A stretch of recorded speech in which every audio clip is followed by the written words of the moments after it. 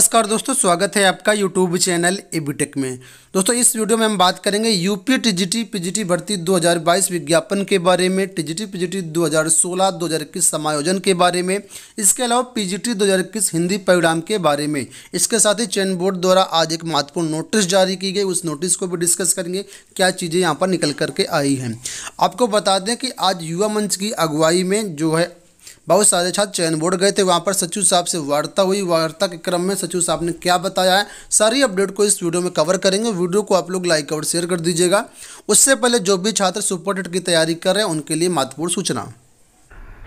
आज इस वीडियो में हम बात करने वाले हैं सुपर टेट 2022 के लिए बेस्ट बुक के बारे में, जो कि चच्चू पब्लिकेशन द्वारा जारी की गई है। इस पुस्तक में आपको 5000 से ज़्यादा बहुविकल्पी प्रश्न मिलेंगे। चार माह का करंट अफेयर मिलेगा। पिछले दो जो सुपर डेट के एग्ज़ाम हुए हैं, अठारह और उन्नीस, दोनों के प्रश्न पत्र हल सहित यहाँ पर दिए गए हैं और संपूर्ण जो सिलेबस है, उसको डिटेल्ड रूप से आसान भाषा में कवर किया गया है। और जैसे बुक में आगे बढ़ेंगे तो यहाँ पर विषयवार जो है पिछले दो भर्तियों में जो जो प्रश्न जिस जिस टॉपिक से पूछे गए, उसके बारे में यहाँ पर बताया गया है, जिससे आप ये समझ सकते हैं कि कौन सा टॉपिक ज़्यादा इंपॉर्टेंट है।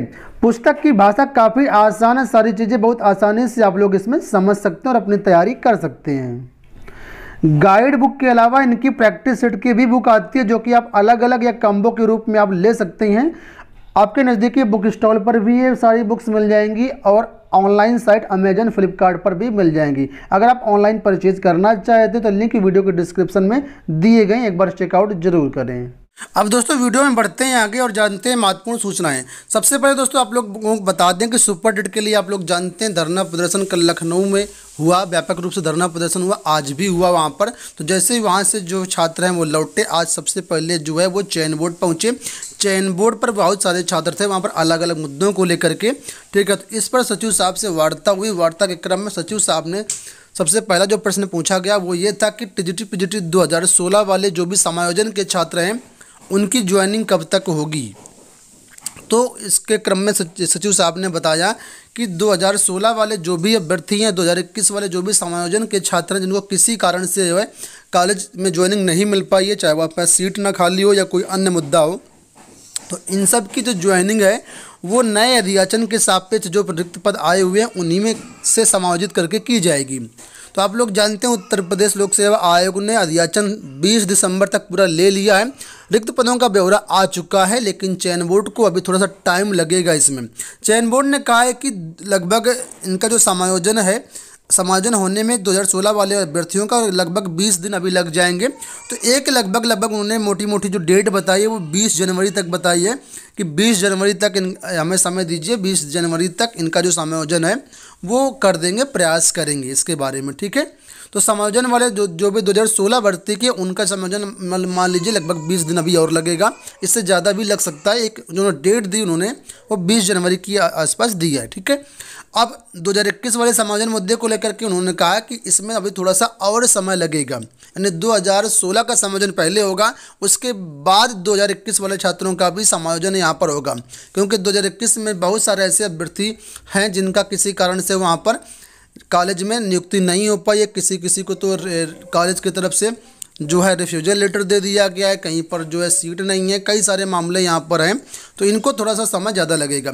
प्रतीक्षा सूची के बारे में अपडेट ये है कि प्रतीक्षा सूची वाले जो भी छात्र हैं, इनको अभी और ज़्यादा समय लगेगा, क्योंकि प्रतीक्षा सूची में जब तक 2021 के सभी अभ्यर्थियों की ज्वाइनिंग नहीं हो जाती है, पूरा ब्यौरा चयन बोर्ड द्वारा एकत्र नहीं कर लिया जाता है, तब तक जो है प्रतीक्षा सूची वाले जो अभ्यर्थी हैं, उनको अभी यहाँ पर जो है इंतज़ार करना पड़ेगा।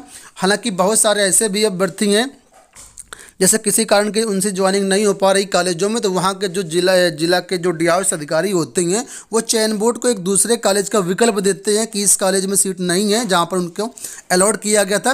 किसी दूसरे कॉलेज में सीट खाली है, ठीक है? तो वो लेटर जो है, पहुँच रहे हैं इसके, इनके पास। चयन बोर्ड के पास और उन मामलों को लेकर के जो चयन बोर्ड है, वो समय समय पर जो है लिस्ट जारी करता रहता है तो जो भी समायोजन वाले छात्र हैं, उनका वहाँ पर हो जाएगा, लेकिन जो फ्रेश वेटिंग लिस्ट में उनको थोड़ा सा टाइम लगेगा और ज़्यादा भी।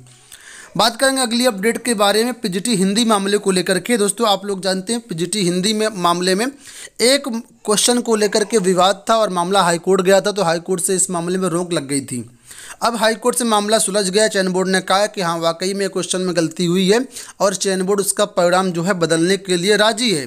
अब दोस्तों, यहाँ पर मामला ये है कि आज जो अपडेट मिली है चयन बोर्ड से, चयन बोर्ड ने कहा कि इसकी जो सूची है, संभवतः आज ही, आज शाम तक या रात तक जारी कर देगा चयन बोर्ड। नोटिस जारी कर देगा, ठीक है, कि आगे क्या होना है, पीजीटी दो हज़ार इक्कीस में। लेकिन सूचना ये मिली है कि बहुत से ऐसे छात्र यहाँ पर हो सकते हैं। बहुत से नहीं तो कुछ तो ऐसे छात्र ज़रूर होंगे।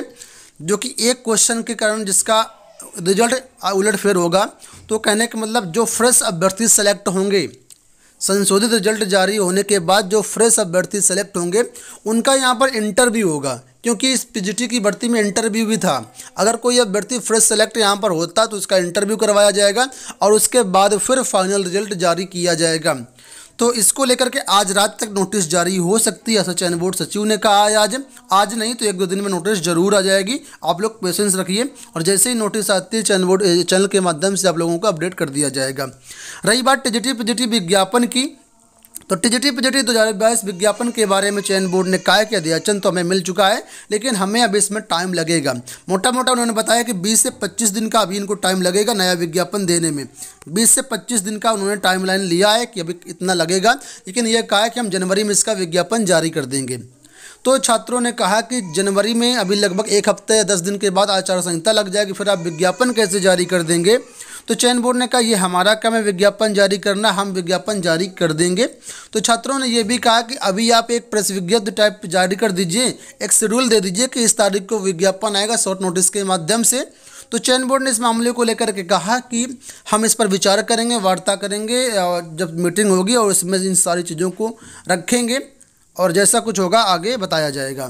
तो कुल मिलाकर के नए विज्ञापन के बारे में, जनवरी में विज्ञापन देने की बात कही गई है और ये भी कहा कि आचार संहिता का हमारे ऊपर कोई असर नहीं पड़ेगा, हम विज्ञापन जारी करवा लेंगे। ये बात उन्होंने स्पष्ट रूप से कही है।